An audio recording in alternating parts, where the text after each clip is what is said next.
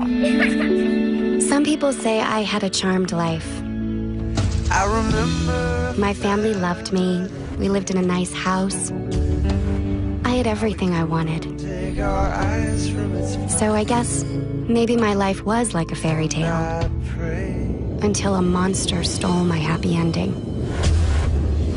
And nobody knows who he is but me.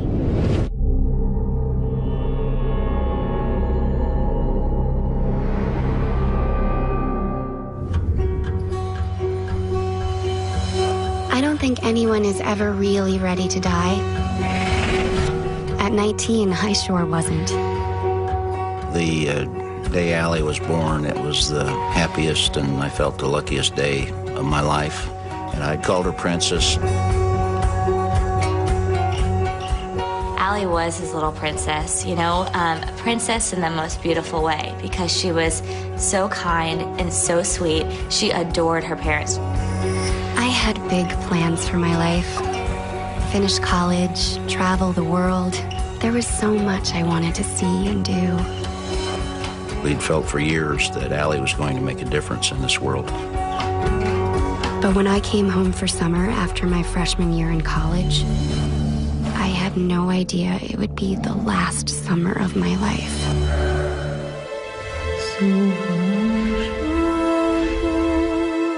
Ali and her two younger brothers all worked at the local neighborhood swimming pool. On June 18th, it was kind of cloudy and overcast, and there wasn't really anyone at the pool. The sun was a coward that day. It just didn't want to come out after the morning rain.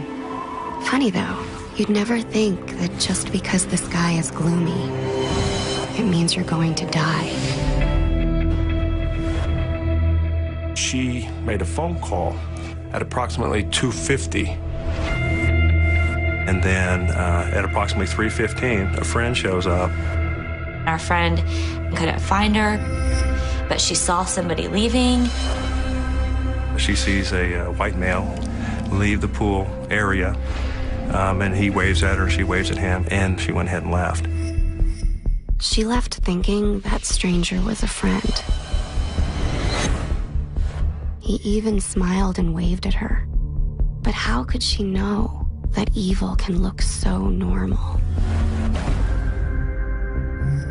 Approximately five o'clock, Ali's brother came to relieve her. And when he got there, her phone was still on the, the table. Ali's brother's concerned she's not there. He can't find Ali anywhere. So he calls his father, Roger. Roger lived about a mile away, so he came, they looked all over. I looked in the shallow end of the pool, deep end looked in the bottom. Uh, I looked out over the grounds. I was lost for a while, floating in the darkness. But I knew my dad would come find his little princess. And he did. I walked into the pump room and I almost turned around to walk out, and then I looked down. I saw a leg sticking out from underneath the tarp. I threw the uh, the tarp off, and uh, was Ali. I rolled her over. She'd been uh, beaten uh, badly. She was black and blue all over her body.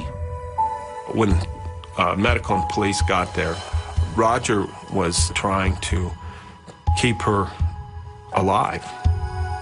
I told Ali she needed to fight through it. Well, she needed to be conscious and uh, come back to me. When I'm in the pool, I like to let the water gently rock me.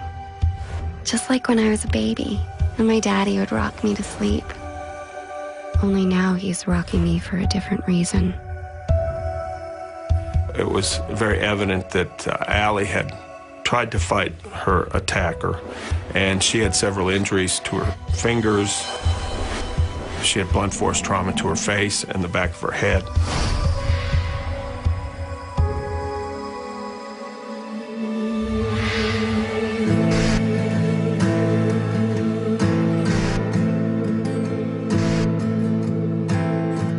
I floated far away, away from my broken body, and away from everyone I loved. For me, the pain was over, but for those left behind, it was just beginning.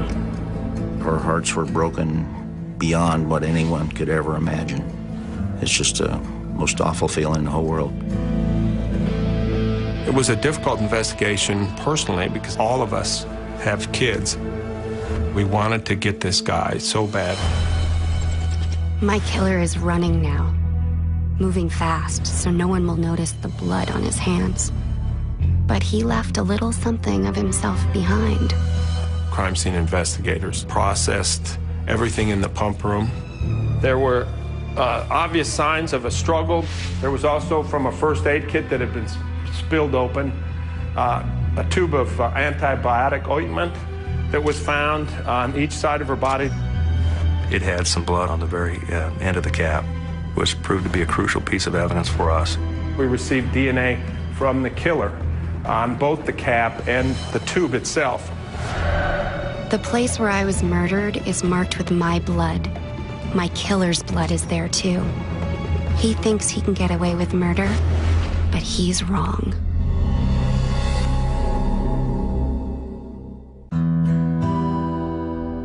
While I was busy going to college and hanging out with my friends, I never once thought the clock was ticking. Still, if I had to do it all over again, I wouldn't change a thing. Except now I know that evil is as real as death.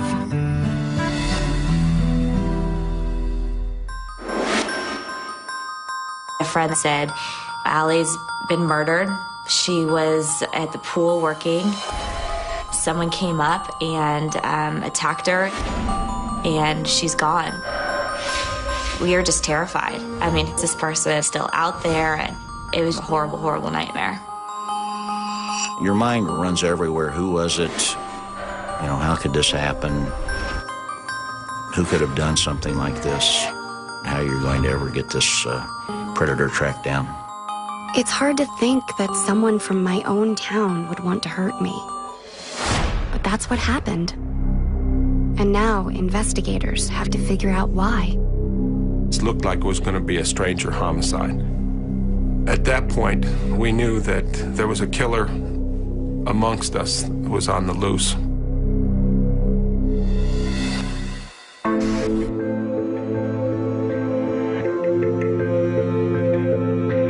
Oftentimes, these killers, they, they've, they've led a life of crime. We were hopeful that we would get a DNA hit.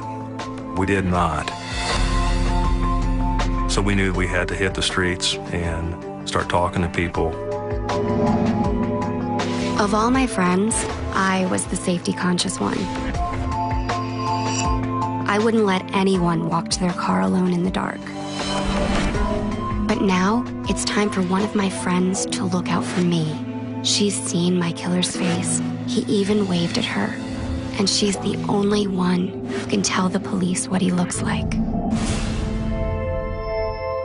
Our friend that had seen him was whisked away to go talk with detectives and do a composite of this person that she saw.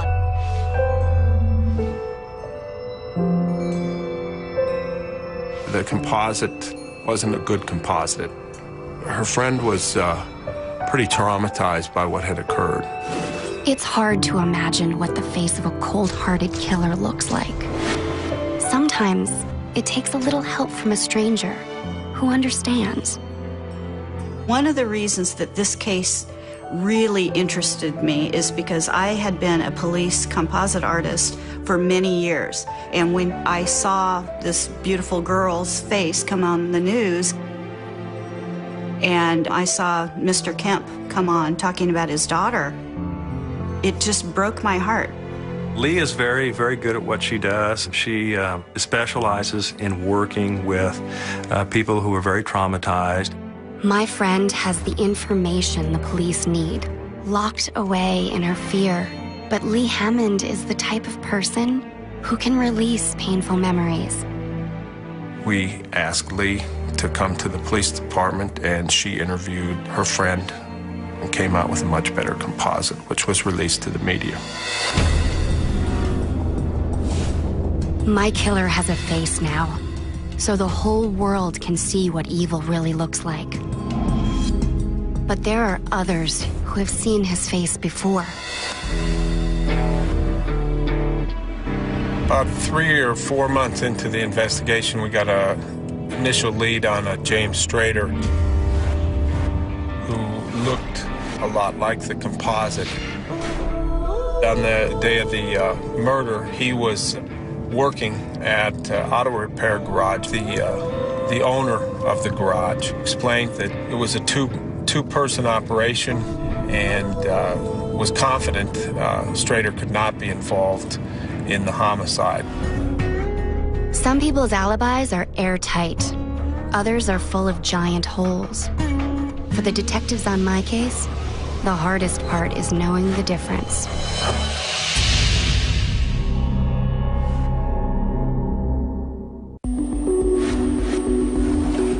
Murder was a stranger in my town until a stranger murdered me. We just needed to catch this guy. Uh, we did not want him to victimize anyone else. Now the police are hunting my killer the way he hunted me. Early on in investigation, we had um, an individual that uh, resembled our composite, and his name was James Strader. And we're able to determine that he had an alibi at the time. The alibi seemed to be strong, and uh, Mr. Strader was eliminated uh, in the investigation. Not everything that people tell the police is true, but I don't know anyone who would willingly lie for a killer. But then again, you never know. Later in the investigation, uh, Mr. Strader uh, appeared on our radar screen again. He had kidnapped a girl from southern Kansas, drove her up here, uh, and had raped her. We decided that uh, we would again look at him as a possible suspect because of his recent activity. Not only did he really look like the person that we were looking for, but he had a history of abusing women, and he became a real person of interest because he took off running. My killer is running free, free to kill again if he wants. But his time on the run will end soon. The media in the Kansas City area uh, really ran with the fact that he was a suspect in the Ali Kemp case and the fact that we didn't know where he was. He eventually was located in Utah. I get this call from the reporter, and he's like, Lee, we've got him. They caught him in Utah. He looks exactly like the composite.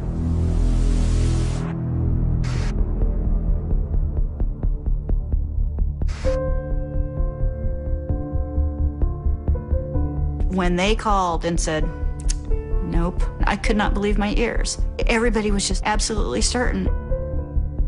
I went through that a couple of times thinking we had him. It's highs and lows. The more I got to know Roger, um, the more of his personal strength and character came out. And he became like the spokesperson for every father out there. The man who murdered me had it all figured out. He thought he could take my life and then just get on with his. But he was wrong. Because my killer hadn't met my dad. Roger, throughout the uh, investigation, was extremely afraid that the, the case would go cold. And he came up with some very new and innovative ideas to keep the investigation uh, in the public eye. I was driving down the interstate and I, I saw a billboard. And I thought, well, why not? Why couldn't we do this on a billboard? You have all these eyes that are looking at the billboard, you know, thousands, thousands a day. The billboard was excellent. People would drive by the billboards every day and they'd say, hey, yeah, hey, what about this person? And we were getting multiple calls on multiple people. Everyone is looking for my killer. Some have already seen him. They just don't know it. He may have washed my blood from his hands, but he can't wash away what he did to me. In uh, February of 2004, we received a, a tip that came from someone who had seen the billboards and said that uh, he believed uh, the suspect would be a Ted Hoover, who owned a pool company and worked in the South uh, Kansas City metro area. We contacted Ted Hoover. Teddy Hoover had an alibi for that day and did not want to give a DNA sample at that point. He said he was going to talk with his attorney and get back with us. Well, he never did. When the investigator called the attorney to set up an appointment to get his DNA, uh, his attorney said that he had left town. I used to love to play hide and seek when I was little. But once we grow up, none of us can hide from what we really are. Especially the man who murdered me. I'm far away from my family, but I can still feel their love. And my killer, he haunts all of us. It won't be long now, though, till he's right where he's supposed to be. We couldn't locate Teddy Hoover anywhere in the country. And it kind of fell into a, uh, a dead lead. It wasn't cleared. We couldn't find him. So we moved on. Then, I think it was in like August or September of 2004, got a third call on Mr. Hoover. And on this one, they gave us uh, a name of a girlfriend that he lived with. So we were able to locate her and that she was living in uh, Connecticut. The U.S. Postal Service We were able to determine that an individual by the name of Benjamin Appleby was receiving mail at the residence in Connecticut. And that's when we start putting things together. Solving a murder is like a big puzzle. If you put all the right pieces together, it can lead you straight to the killer. So we were very confident that they were one and the same Teddy Hoover and Ben Appleby. The Connecticut State Police were able to run Ben Appleby, and he showed a history of lewd and lascivious activity, and he had a warrant for that, uh, so we knew they could arrest him on that warrant. I don't think anyone ever really changes unless they truly want to. So even if we change our hair, our looks, or even our name, we're really still the same. And evil is still evil, no matter what it's called. All of us had a real good feeling about, about this suspect, that he was going to be our guy. We'd call Connecticut and say, if you guys could arrest him, and then we'll, we'll talk with him. Some predators like to brag about what they've done. Others hang on tight to their dark secrets. But the police know that if you're real clever, you can play them at their own game. We got a good game plan. We had crime scene photos, we had our timeline, uh, we had all kinds of things. And we brought him in, and he immediately, his eyes fixed on the link chart. And he, uh, he just couldn't take his eyes off it. It's hard to see your handiwork right in front of you, isn't it, Benjamin? Seeing just what you did almost makes you want to cry. And at that point, he just kind of dropped his head in his hands, and then he just basically blurted out he killed her. Ali was in the pump room. No, I don't. I just hit on her, man. She was good looking. I was blocking the doorway. She rejected me. She pushed me back. I, I just lost it. Mr. Appleby's a very strong guy. He's been to prison. He uh, uh, was a wrestler in high school. He knows how to fight. He just overpowered her. I once saw a cat kill a bird just for fun. He stalked her, attacked her, and killed her, even though she hadn't done anything wrong. I know it's the way of nature, but it's not the way of humanity. But I hit her, man. I kept hitting her, you know. And he said after she was unconscious that he went to the first aid kit to get some lubrication for himself and uh, was trying to get himself aroused, but he couldn't. I don't know why the I did it. I, I killed her. I, uh, And what happened? I, I strangled her, I guess. and killed her so he wouldn't have a witness and he wouldn't go to jail again.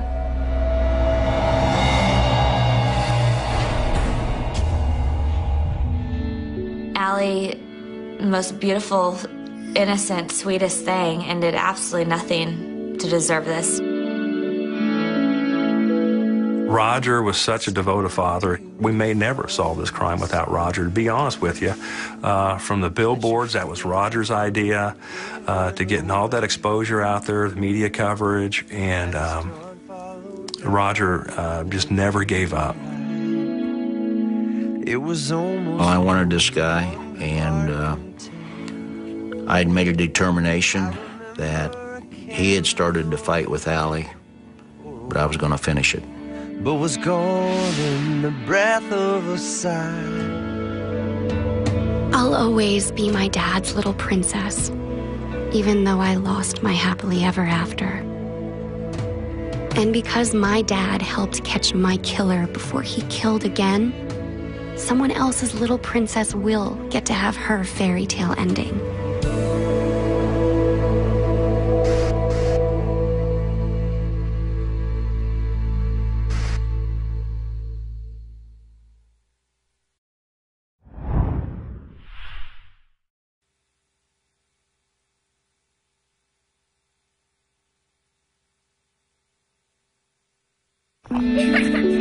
Some people say I had a charmed life. I remember My family loved me. We lived in a nice house. I had everything I wanted. take our eyes from its So I guess maybe my life was like a fairy tale until a monster stole my happy ending. And nobody knows who he is but me.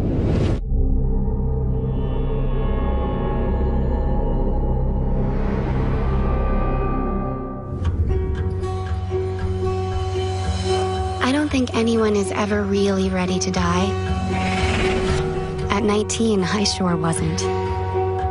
The uh, day Ali was born, it was the happiest and I felt the luckiest day of my life. And I called her Princess. Ali was his little princess, you know, um, a princess in the most beautiful way because she was so kind and so sweet. She adored her parents. I had big plans for my life. Finish college, travel the world. There was so much I wanted to see and do. We'd felt for years that Ali was going to make a difference in this world. But when I came home for summer after my freshman year in college, I had no idea it would be the last summer of my life.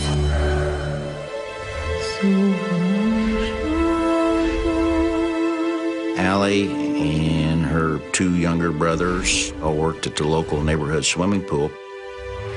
On June 18th, it was kind of cloudy and overcast, and there wasn't really anyone at the pool. The sun was a coward that day. It just didn't want to come out after the morning rain. Funny though, you'd never think that just because the sky is gloomy, it means you're going to die. She made a phone call at approximately 2:50. And then uh, at approximately 3:15, a friend shows up. Our friend couldn't find her, but she saw somebody leaving. She sees a uh, white male leave the pool area, um, and he waves at her. She waves at him, and she went ahead and left. She left thinking that stranger was a friend. He even smiled and waved at her. But how could she know that evil can look so normal? Approximately 5 o'clock, Ali's brother came to relieve her. And when he got there, her phone was still on the, the table.